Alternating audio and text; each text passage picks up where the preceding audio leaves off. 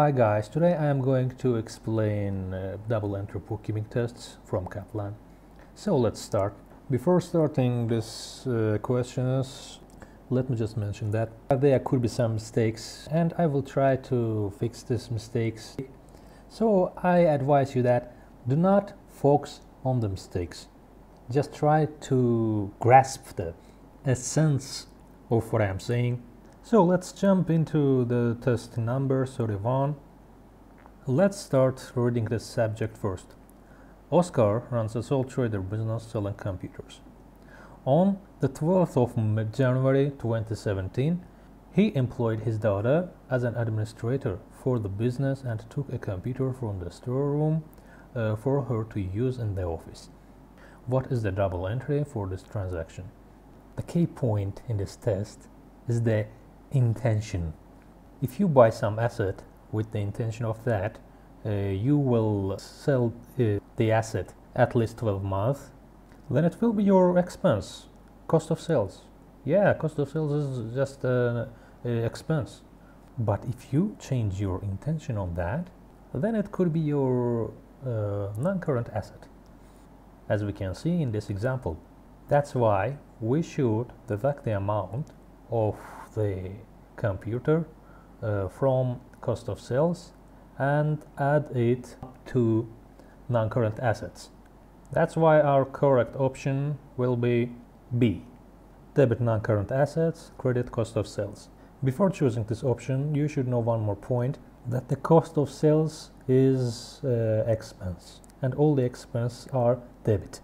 And if you want to decrease any expense, you should credit it. And non-current assets, all as all the other current assets uh, together are debit. And if you want to recognize that uh, computer as an asset, you should debit it. That's so simple.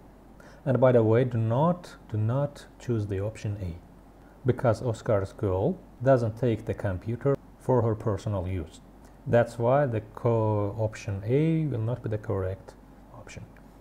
I hope you understand the test number 31.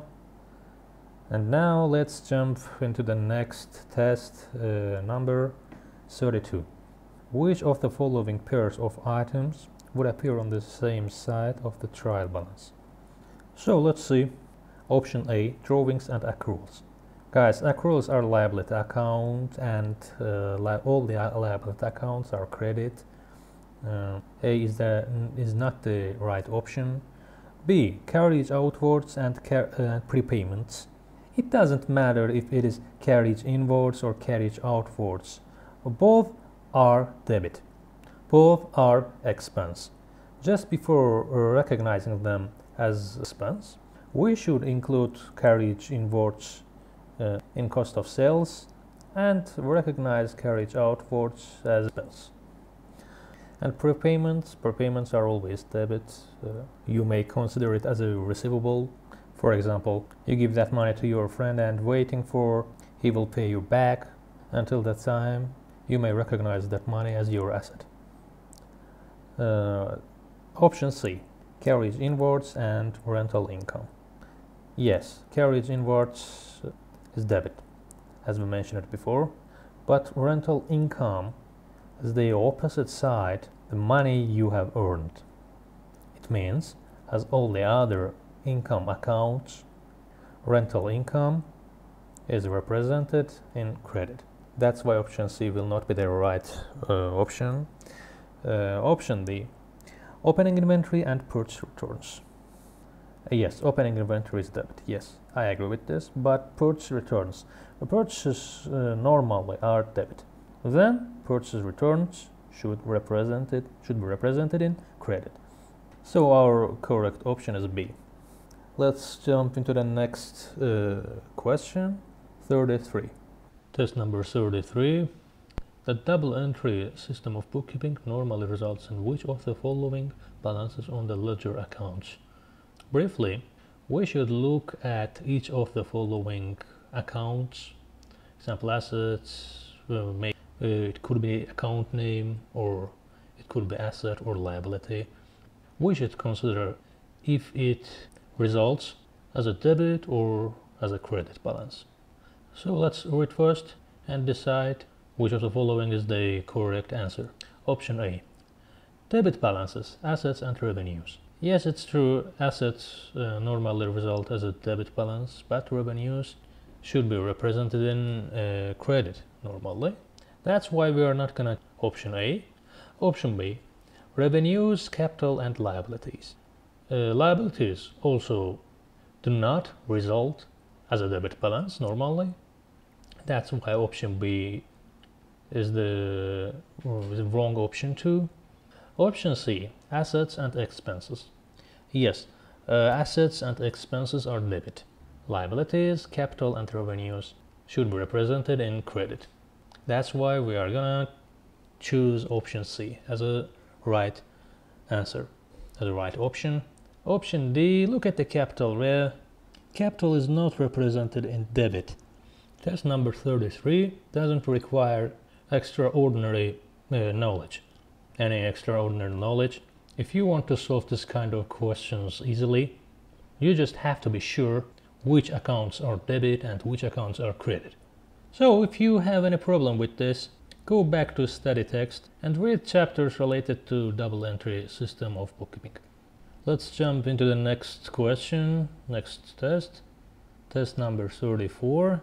Which of the following entries would be required to account for a reimbursement to the petty cash float of $125 from the bank account? The amount of cash doesn't matter here. As you can see in the options, we just have to be sure where to debit and where to credit this transaction.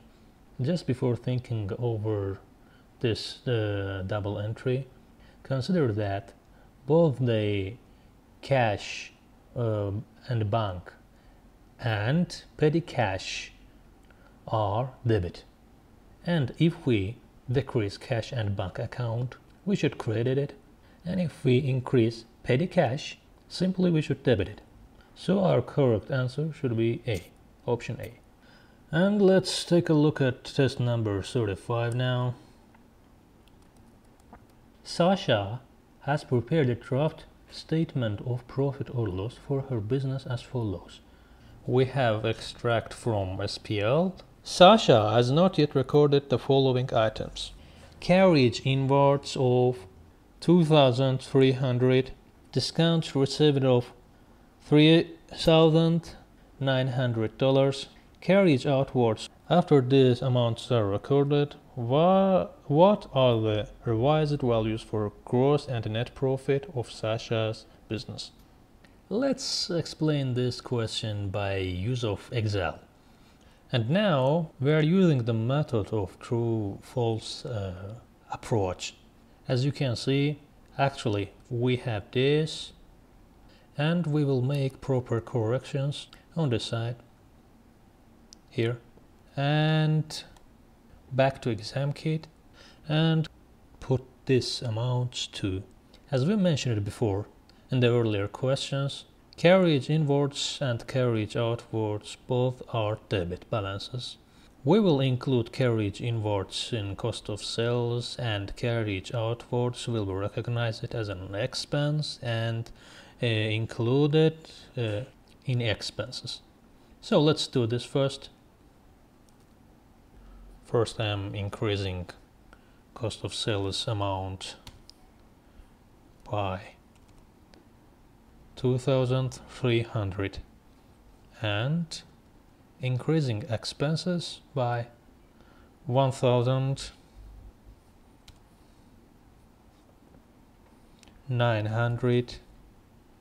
1950 dollars and the last thing here we should do is more complex about discounts received, cash discounts received. Cash discounts received normally should be deducted from cost of sales. I don't see that. It's said by BPP study text 2021, page number 241. And here you can see important point. Let's zoom in this to 100%. Yeah, it seems clear now. So we have important point here, as you can see. It says that cash or settlement discounts received are deducted from the from cost of sales in the statement of profit or loss. But in the answer, you will see that they have recognized discounts received separately after gross profit. As you can see here in the answer, they have recognized it. But I recommend that do not recognize discounts received separately. Just, just deduct it from cost of sales. And if you ask me why, then I can tell you this. Questions in the exam will be more likely according to study text rather than Kaplan exam kit. There could be few differences between uh, Kaplan exam kit and BPP study text, but a few, very little. And in these cases, I recommend you stick to uh, study text. And in my solution, I will deduct discounts received from cost of sales. All I have to do is, is to decrease cost of sales amount by 3,900. And here we go. That's it we have 114,200 gross profit and 36,250 net profit. I think we are done with this question and let's jump into the next question. 36.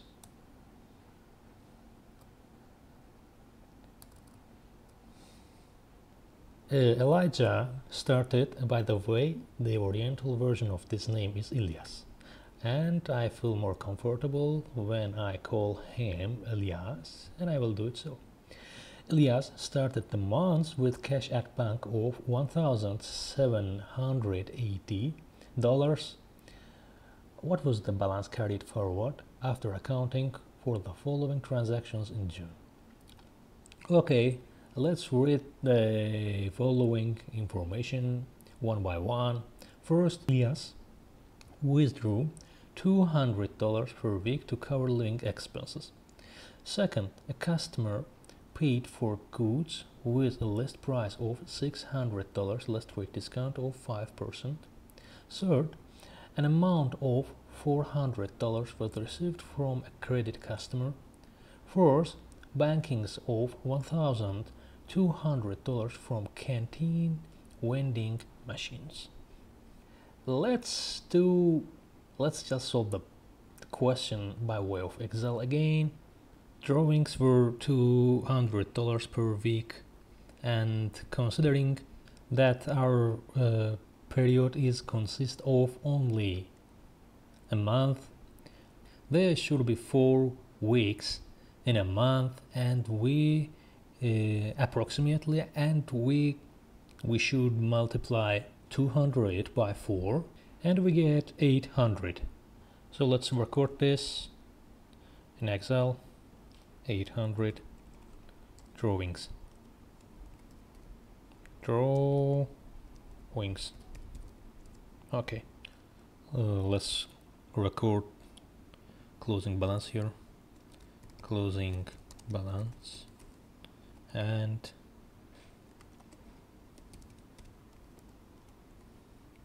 we need some underline here. And function and I am deducting 800 from 1780 because as you know drawings decreases our cash at bank. And let's back to our question again and solve the second information. A customer paid for goods with a list price of 600 list rate discount of 5% all we got to do is to decrease 600 by 5% and short way of this is just uh, multiplying 600 by 95% okay let's do it and here are payment payment by customer. Okay. Now I'm going to multiply 600 by 95%. And when customer pays, we receive money. And okay, let's do it.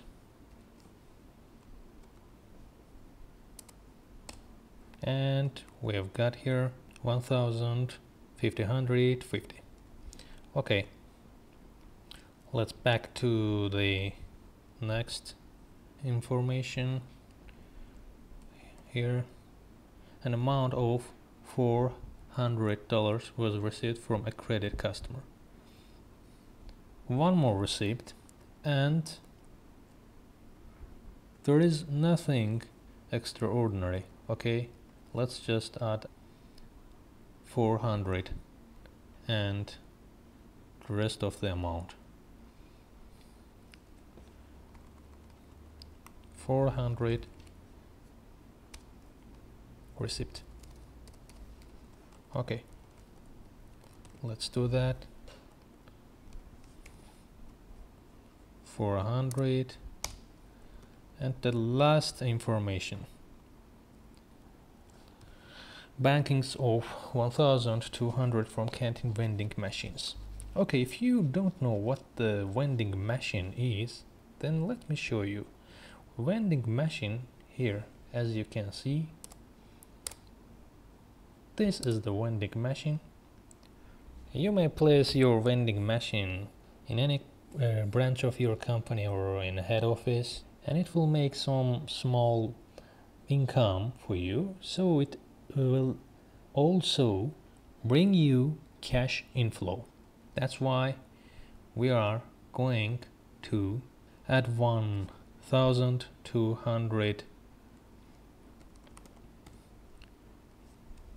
vending machine. 100 1200 and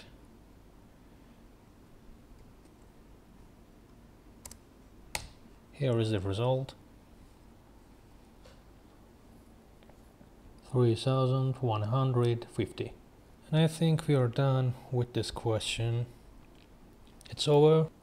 So let me just mention that before jumping into the next question, you may solve this question by way of T account. As you can see, I'm not using T accounts in this kind of questions because I think it's easier way. You're just adding, deducting uh, figures and you get the result Using T accounts could be some kind of time consuming. That's why I don't recommend this T accounts in this kind of situations. Now let's jump into question 37. Uh, let me just scroll down. Okay, here we go. After, after corrections, what should be the balance on the following account? When you encounter this kind of questions, I mean, which contain T accounts.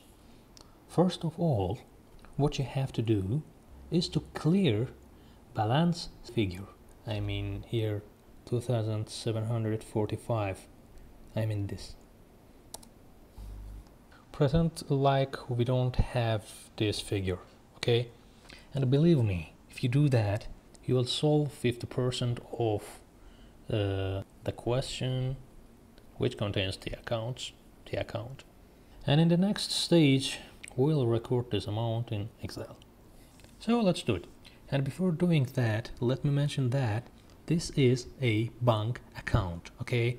And bank accounts are normally represented in debit. And that's why I am going to show all the debit amounts positive and all the credit amounts negative. And I don't care if these amounts are on the debit side or on the credit side, it doesn't matter. Let's do it according to my way, okay? First of all, let's take a look at this amount 1340 overdraft. Overdraft represents negative amount in your bank account, okay? Now let's record this as a negative amount. Your cash at bank at the start of the period is negative. And reimbursement of petty cash float, it should decrease your bank account and it also should be represented as negative okay? 45 negative 45 okay. Receipts from customers. Ah thank god we've got some positive amount here. Considerably high amount 4400 okay. And let me just record test. 4400 okay. And I record this uh, as positive. Now return of goods purchased for cash. Uh, and if we are talking about returns of goods purchased for cash it means that we return the goods which we bought in the past for cash. And if we return these goods now then we'll take our money back $50 okay. It means that we should increase our bank account by 50 okay.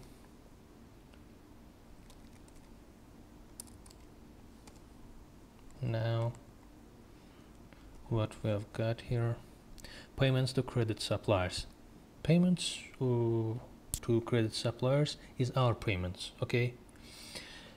It's ours and it should decrease our money by 990 okay. Let's just decrease it by 990 and what's the next step here? Rental income. And if you see some rent in your bank or cash T account it means you get that money. Okay. We should increase our cash by 1300 now finally we're going to take account the last figure here. Payment of electricity bill 700 and we should record this as negative. It's easy. Doesn't require extraordinary explanation. And now let's look what we have got here. As a result of these actions I got $2,675 and we are done with this question one more time. So let's jump into the next one. Question number 38 ah it should be easy Andrea started a taxi business by transferring her car at a value of $5,000 into the business. What accounting entries are required to record this transaction? Before solving this test, open BPP study text where page number 295 and look what it says about drawings.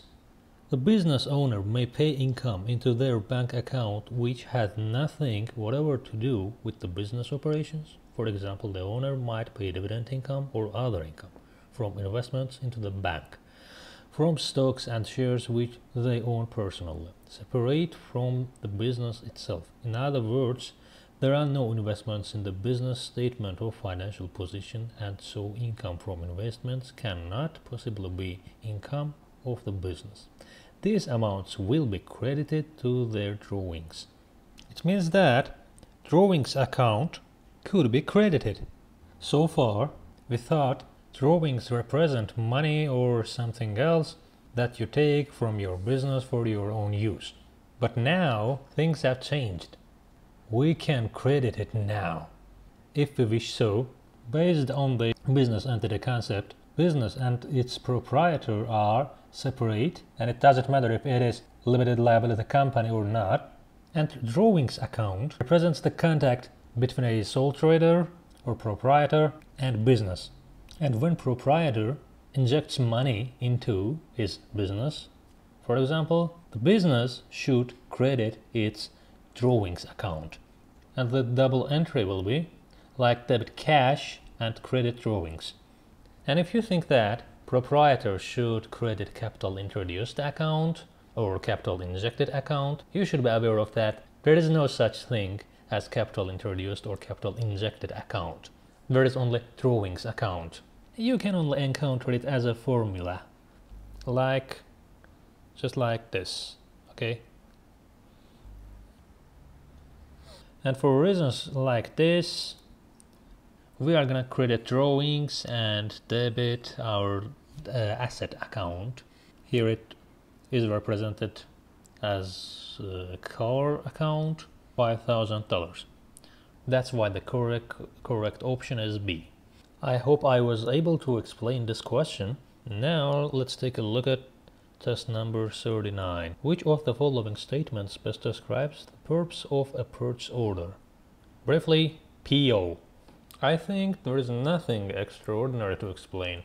If you are not able to find the right answer, then go back to study text, open page number 46 and look what it says. The main point here is that purchase order is sent by customer to his supplier. We don't need to know more detailed information about the source documents. Let's back to the test and match the options with the K point. Option A, it is issued to a supplier to request supply of goods from them on terms specified within the order. It looks like the right answer, but before deciding this, let's look over the other options. Option B, it is issued to a customer. Okay, stop right there. It is not issued to a customer. Option C, it is issued to a supplier. Okay, as a notification of payment. The option C is uh, about remittance advice. It doesn't mean the PO. Option D, it confirms the price that will be charged by a supplier for goods supplied. No, no, no, it's, it's uh, absolutely something else. And I don't want to waste my time on this.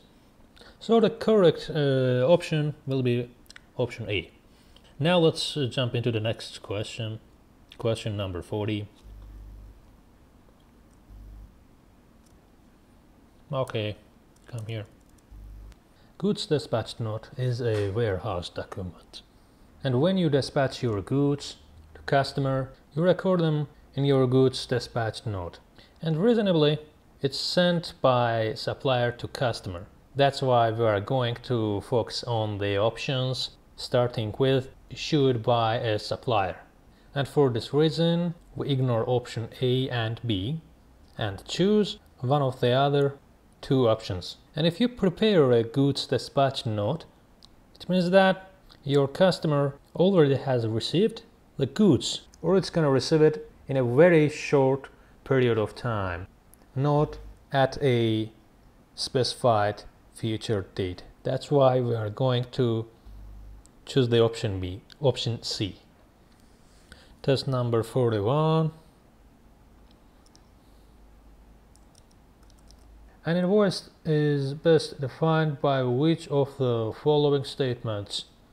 Option A, an invoice is raised by a business and confirms on the amount due to be paid for goods and services provided.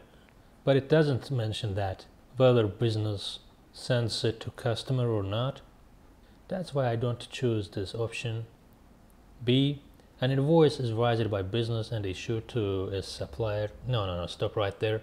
Normally, customer receives uh, services and goods, not supplier. For this reason, option B is wrong. Option C, an invoice is raised by a business and issued to a customer, okay, to confirm amounts not yet paid. When a supplier issues an invoice, it doesn't mean to confirm something. The main aim of business is to request payment for goods and services provided. Hit this word request, request. Therefore, we focus on this option and we accept uh, that as a right option. 42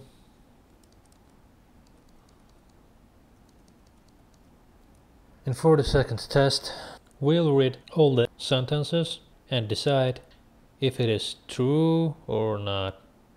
Business assets will always equal business liabilities.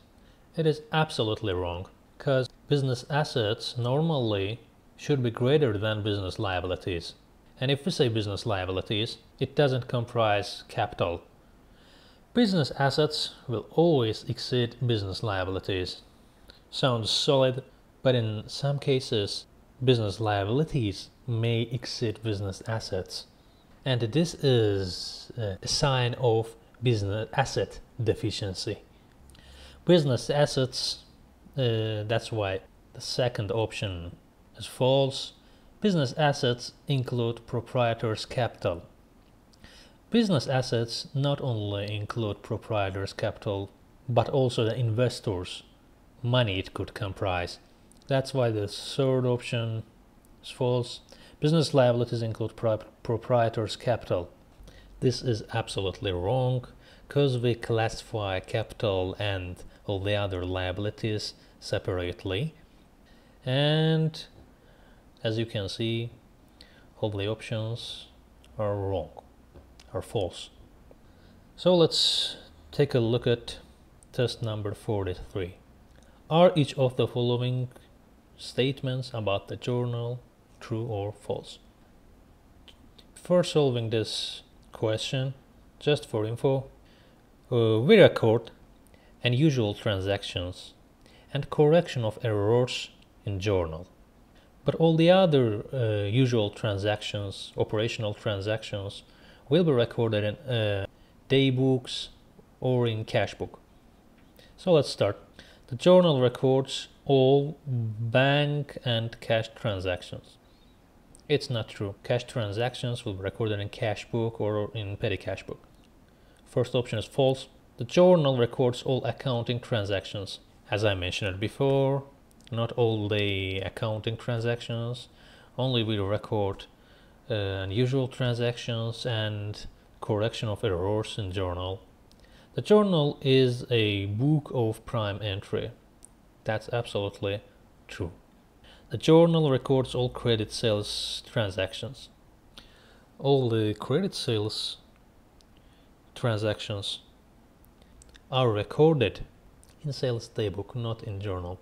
That's why the fourth option is false. Let's jump into the next question, next test. Test number 44. Let's continue. Number 44. During the year, Ferguson made the following accounting entries to account for the depreciation charge relating to motor vehicles. Uh, debit accumulated depreciation motor vehicles. Mm, credit depreciation expense motor vehicles. As you can see here, Ferguson have made the double entry record for the depreciation charge but in reverse we should just correct this error. This is an obvious correction of errors question.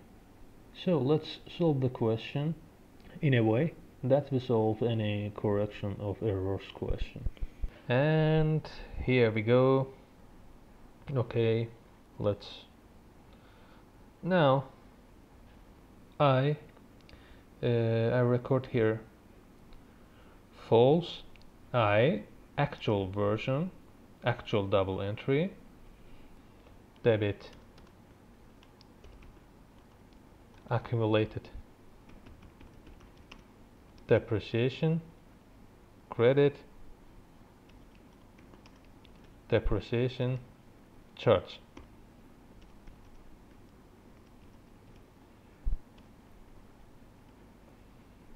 Five thousand and five thousand.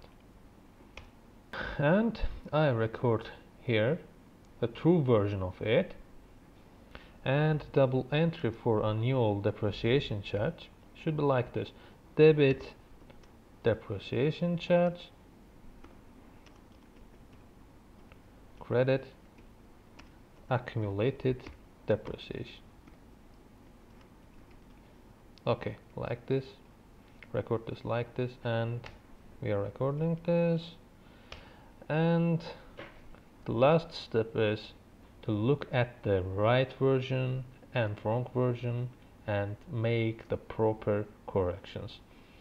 And I say that I have debited accumulated depreciation by 5000 instead of credited by 5000 and if I wish to correct this error all I have to do is just to credit accumulated depreciation credit accumulated depreciation by 10,000 one two three. Okay and the same goes for depreciation charge. And here we go. Debit. Depreciation charge. By 10,000 okay. And that's it. Here is your correction. And if you've got any other other idea to handle this question I advise abandon that idea. Because this is the easiest clear way of solution that you can use it. So let's go back to exam kit. Find the right option. Look at the option B. This is what we get after correction. Now let's jump into the next question. Question number 45 okay let's do it. During the year Redknapp made the following accounting entries to account for the increase in the allowance for receivables. Debit trade receivables ledger control account $4,300 credit allowance for receivables $4,300 What journal entry required to correct the above accounting entries to increase the allowance for receivables for the year? And again, we are going to solve one more correction of errors question. Just for saving time, I recorded here the actual version of double entry. And the true version of this double entry should be like that. Debit, debit irrecoverable debts expense credit allowances for receivables. Should be like this. 4300 4300 okay let's correct this as you can see the credit side of this double entry had been recorded correctly. That's why I'm not going to touch it or I'm not going to make any correction related to credit side of this double entry. Redknapp have debited trade receivables account instead of debiting irrecoverable debts expense account. And as a result of this action, Redknapp have sent some amount to statement of financial position instead of sending it to statement of profit or loss. And just for additional information, I'd like to mention that this kind of errors are referred to as uh, errors of principle. Errors of principle. For correcting this mistake, first we have to credit trade receivables account which Redknapp have debited mistakenly. Credit trade receivables. By 4300 and the next step is record this amount in the right account and recognize it as an expense which is uh, irrecoverable debt expense. And I'm going to copy and paste this true version of debit side double entry. And that's it. Let's jump into the next question. Question number 46 okay during the year Allardyce made the following accounting entries to account for the cash proceeds received upon disposal of an item of machinery. Debit bank $2,500 credit sales revenue $2,500 and I think it's easy to predict what is being requested.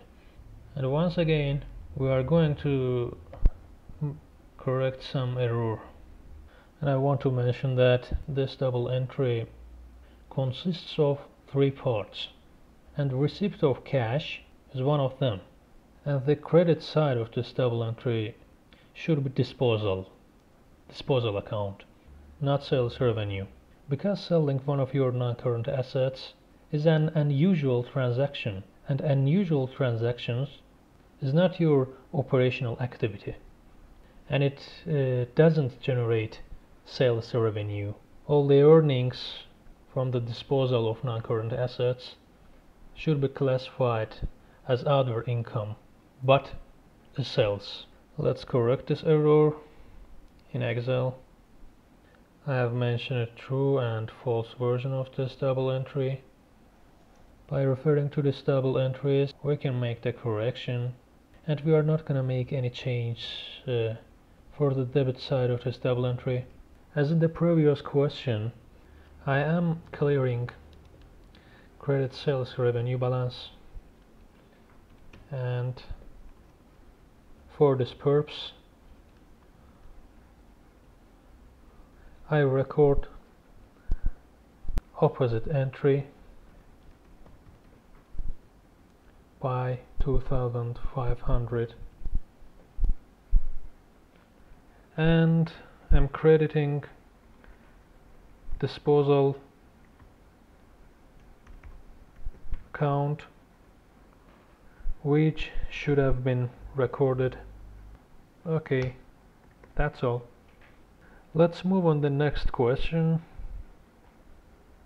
Question number 47 Pardew is unsure of the accounting entries required to account for a contra between the receivables ledger control account and payables ledger control account for $1,250. What journal entry is required to account correctly for a contra between the trade receivables and trade payables ledger control accounts? I think I should explain in the first place what contra entry is. Just be aware of that your customer could be your supplier at the same time. Yeah, it's possible. And let's suppose that that customer's name is John, which is also your supplier. And in your accounts you have receivables from John as a customer and payables to John as a supplier with the same amount $100 okay Instead of receiving this amount from John and paying him to John, you are able to do nothing, absolutely nothing. Okay, all you got to do credit John's receivable balance uh, $100 and debit John's payable balance $100 and there will not be any payment or received additional unnecessary or redundant cash transfer transactions. And for financial accounting purposes, contra entry always decreases uh, receivables and payables control accounts at the same time.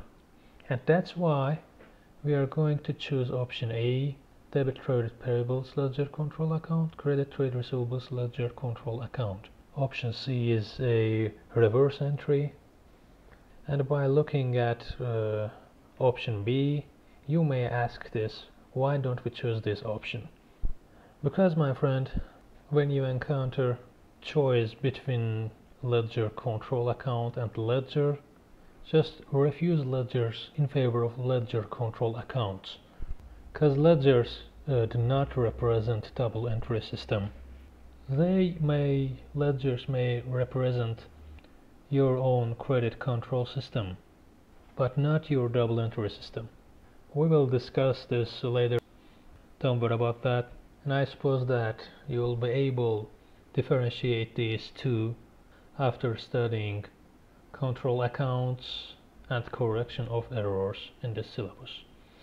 And I hope my explanation is understandable. So let's move on to the next question question number 48 what journal entry is required to correctly account for the depreciation charge for the year of $3,500 relating to buildings? And the amount here doesn't matter. And the double entry for any depreciation should be like debit depreciation charge expense uh, credit accumulated depreciation. And I suppose that this question doesn't require ex extraordinary explanation so let's move on the next question question number 49 okay. What are the accounting entries required to account for settlement discount received of $250 from a credit supplier. If I remember correctly, we have encountered uh, this double entry before and I mentioned some nonsense about the credit side of this double entry but not about the debit side. Mm, but the debit side is easier. Just always debit trade payables. That's all.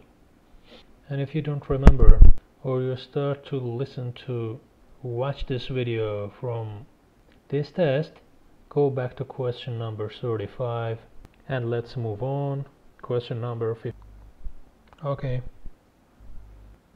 Palios made the following accounting entries to account for the purchase of goods on credit from a supplier debit trade receivables ledger control account $3,200 credit purchase $3,200 what journal entries required to account correctly for the purchase of the goods on credit from a supplier?